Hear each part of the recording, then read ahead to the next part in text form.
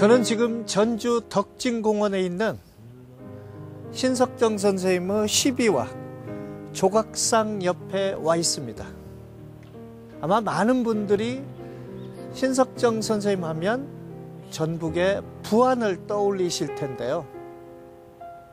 1951년에 전주로 삶의 터전을 옮긴 이후에도 현실 참여적이고 저항적인 시세계는 그대로 이어지고 있습니다. 님께서 부르시면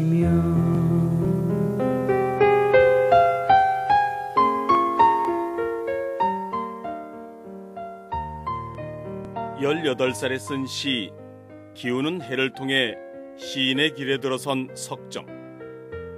2년 남짓 서울 생활을 하기도 했지만 고향은 젊은 시절 그의 삶의 터전이었습니다. 부안읍 선은리 560번지.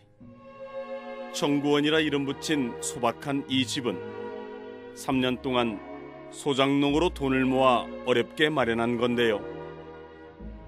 일제의 수탈과 지주계급에 착취해서 그는 자유롭지 못했습니다. 하지만 해방 이후에도 그런 삶은 크게 바뀌지 않았습니다. 석정은 늘 가난과 사투를 벌여야만 했습니다. 그가 1946년에 써놓고 끝내 발표하지 못한 꽃이라는 시에서 당시 상황을 엿볼 수 있습니다. 아름다운 자연을 노래했던 시인 신석정. 그런 그의 시를 들여다보면 굶주린 아내와 자식들의 신누런 얼굴을 보며 꽃처럼 탐스러운 밥을 떠올리는 가장의 모습이 보입니다. 그는 역설적인 표현을 통해 현실의 궁핍과 시대의 슬픔, 고뇌를 담았던 겁니다. 젊은 시절 부안에서 소작인으로서 그러니까 서민으로서 살았고 어, 가난한 자로 살았고 생활하는 터전에서 같이 숨쉬고 어, 호흡하고 그랬던 분입니다. 어, 우리 서민들의 삶의 애환을 정말 잘 알고 파악하고 있었던 분이죠. 17살에 결혼해 사남 사녀를 둔 그는 늘 대가족의 끼니를 걱정하던 아버지였습니다. 결국 경제적 어려움 탓에 1951년 먼저 전주로 나오게 되는데요. 이듬해 가족들도 부안에서 전주로 이사를 오면서 온 식구가 이곳에 터를 잡게 됩니다. 부안의 청구원에서 그랬던 것처럼 석정이 직접 이름 붙인 비사벌 초사. 전주의 허름한 집이라는 뜻일 텐데요.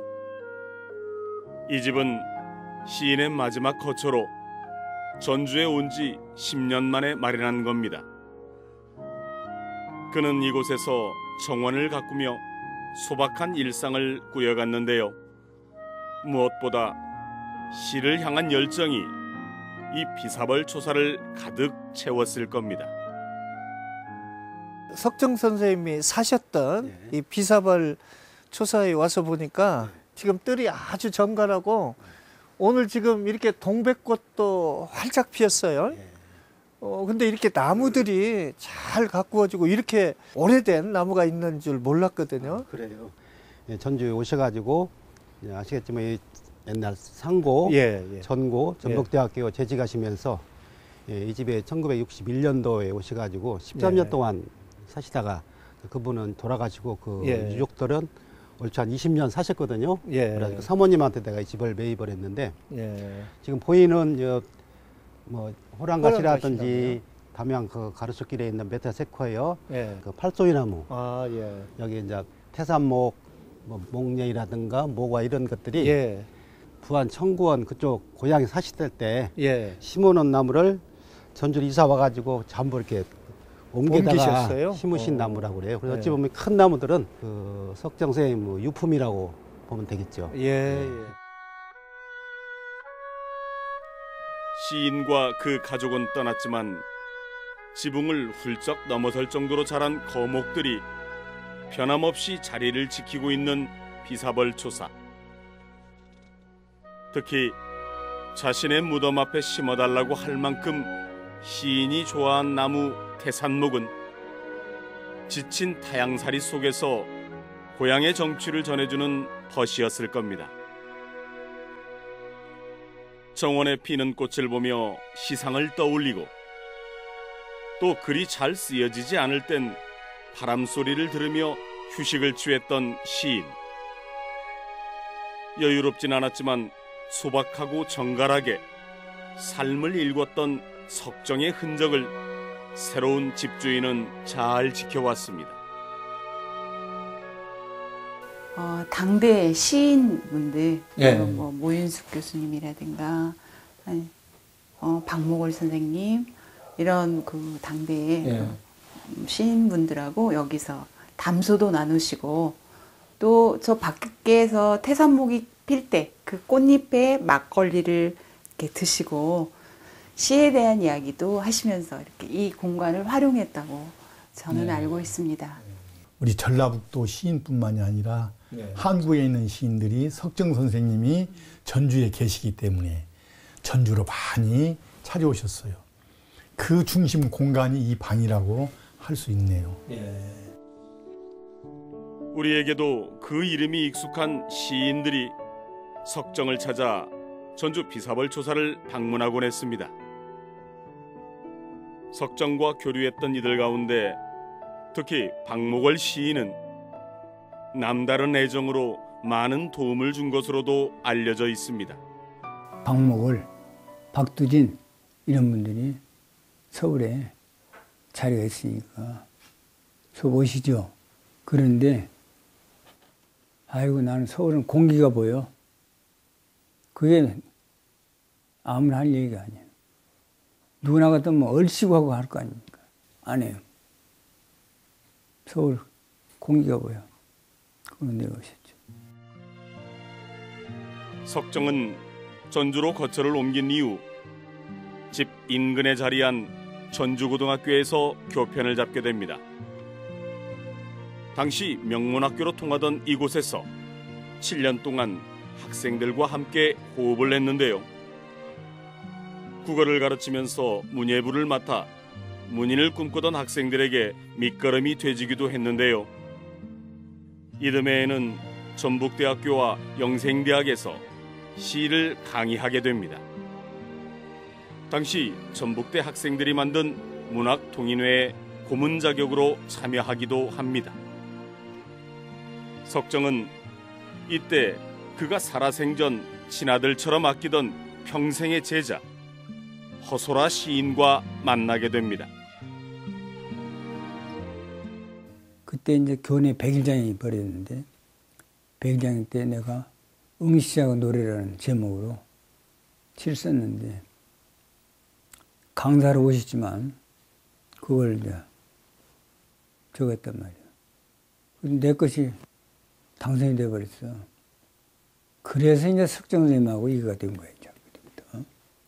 석정 선생님은 한 번 미운 사람은 절대 이고 한 번 이쁜 놈은 죽어도 안 나요. 그래서 이제 저기 뭐 지리산도 가고 매년 2월 28일 되면 이제 아까 얘기한 대로 여수 오동도 어, 동백꽃 보러. 내가 몇 월 달에 뭐 피는 거 알도 못 오지. 선생님은 다 아시오. 가보니 환하게 피어 있어. 오동도. 젊은 시절 부안 청구원에서 노작 활동을 하면서도 시를 놓지 않았던 석정. 전주로 거처를 옮겨 교편을 잡은 이후에도 형편은 크게 나아지지 않았지만 그는 변함없는 모습으로 시인의 소명을 다했습니다.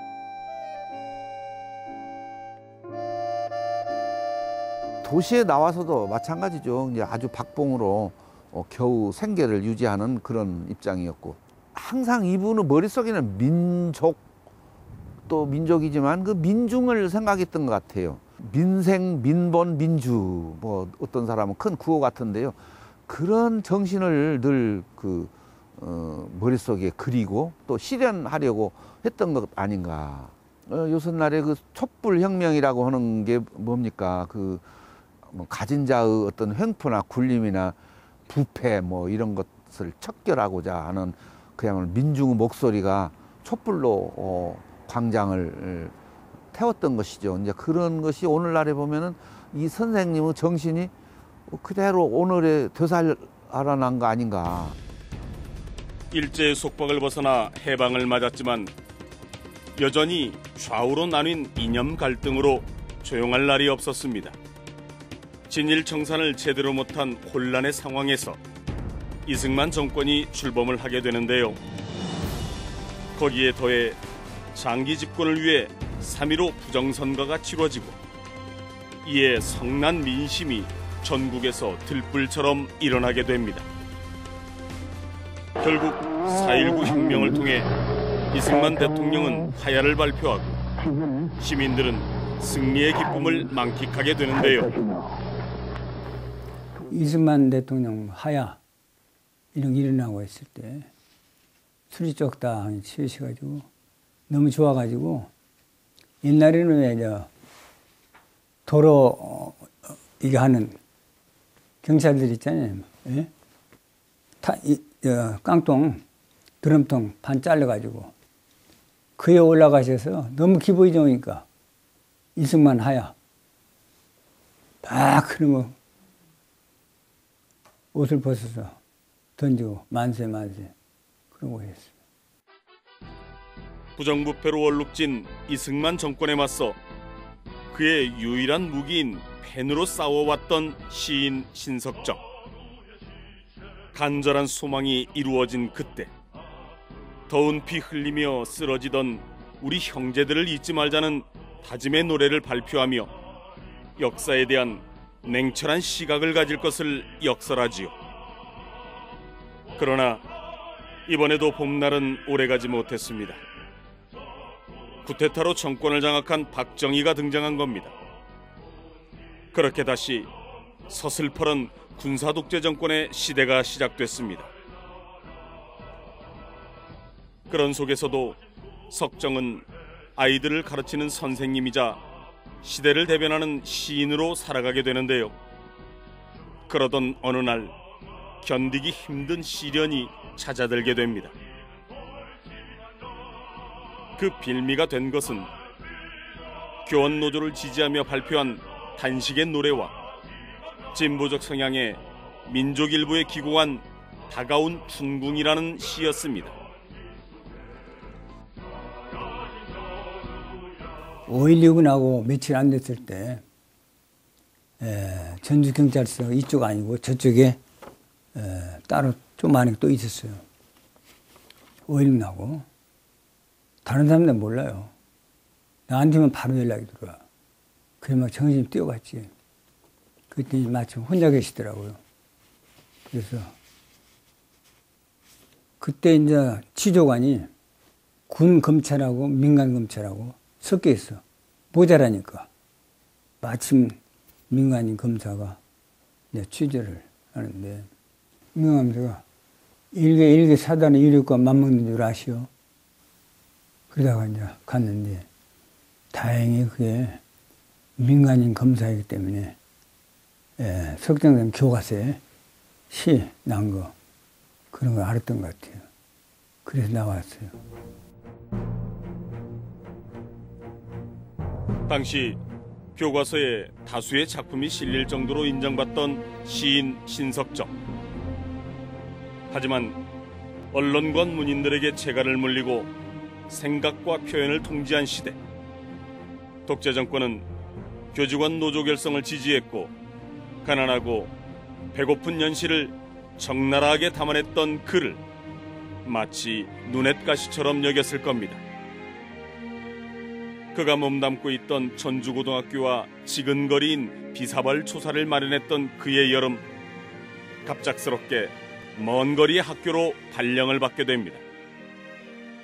석정 선생님이 제 은사님이십니다. 1학년 2학기 때 김제고등학교로 석정 선생님이 부임해서 오셨습니다. 그래서 나중에 제가 이제 대학교 들어가서 알고 봤더니 전고에 계실 때에 교원 노조가 있어요. 노조를 결, 결성하는 그것을 찬성하는 그 시가 단식의 노래. 그 사상적으로 다른 분들이 주시하는 분이었습니다. 그런데 이때를 기회로 해서 좌천을 시켰습니다. 그래서 김제고등학교로 선생님이 오셨어요. 선생님한테는 힘들고 어려운 생활이었지만 제자인 저는 참 큰 행운이었습니다. 예. 그래서 거기서 만나게 됐습니다. 시인으로 자라난 까까머리의 제자.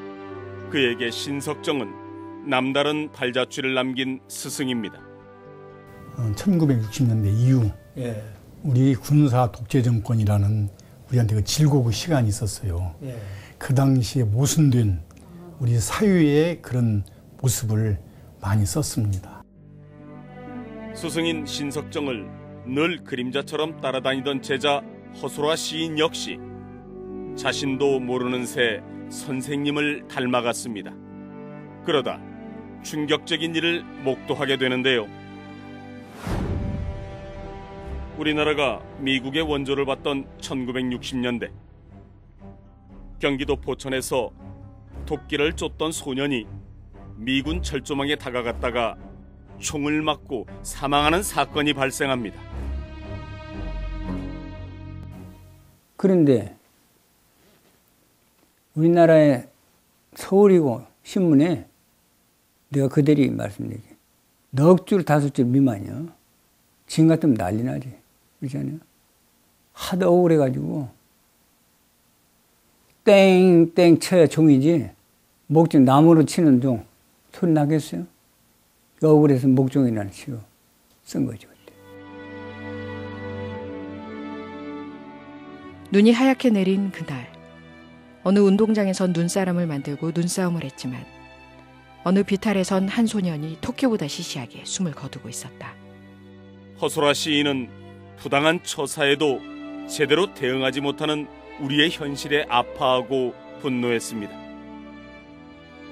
그런 제자의 글에 스승인 석정은 몇 달 뒤 슬픈 서정이란 시를 발표하며 분노의 목소리를 더욱 높였는데요. 신문을 통해 제자의 마음을 읽은 그가 쓴 보내지 못한 엽서에는 애틋함이 그대로 묻어 있습니다. 답사를 쓰셨는데 우체국에다 넣지를 못해서 그러고 돌아가셨단 말이에요. 몇십 년이 흐른 뒤에서 자녀분들이 주어서 그걸 찾았지. 책임전가의 상표를 또 한 번 확인한 채 소년은 갔다. 내가 쓴 시 규제를 썼어요. 그리고 조용하였다. 가슴 아픈 이 규제를 날몇 번이나 외웠는지 모르고.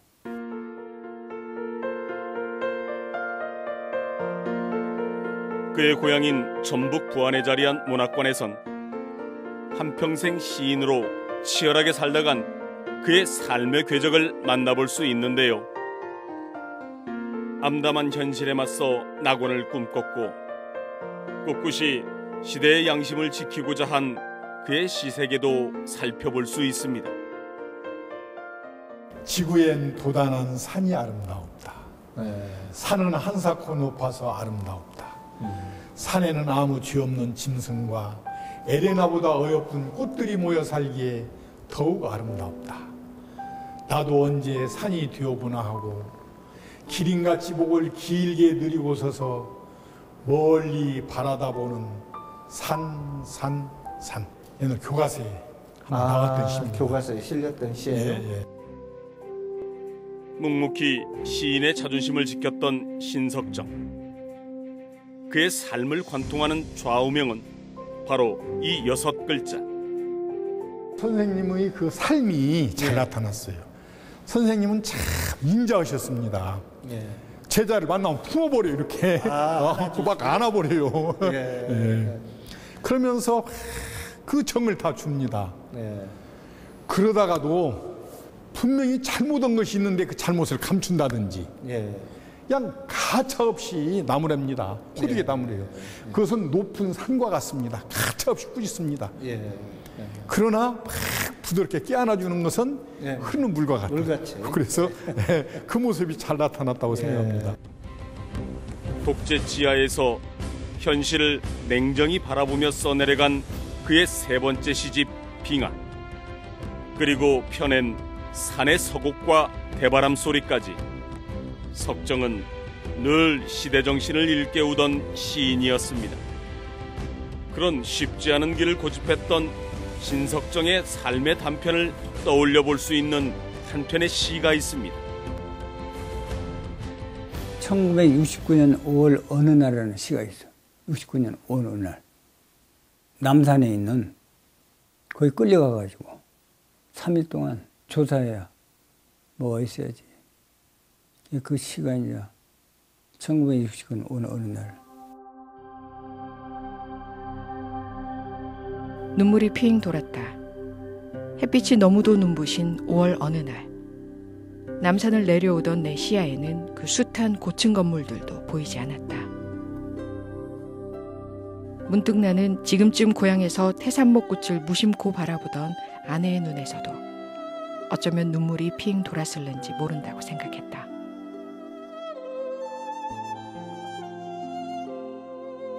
한평생 자신에게 주어진 삶의 무게를 묵묵히 감당하면서도 괴롭고 고약한 현실에 울분을 감추지 않았던 시인. 시로 시대를 노래하고 우리가 가야 할 길을 보여준 그 이름 바로 신석정입니다.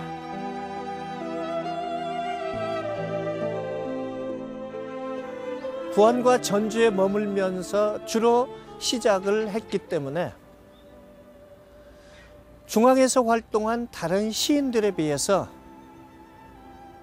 석정 선생님에 대한 조명이 아주 늦어졌고 아직 활발하게 이루어지지 못하고 있는 것도 사실입니다. 자연의 아름다움을 노래하고 시대의 아픔을 담아낸 석정의 시가 그 가치가 더욱더 빛나게 되기를 기원합니다.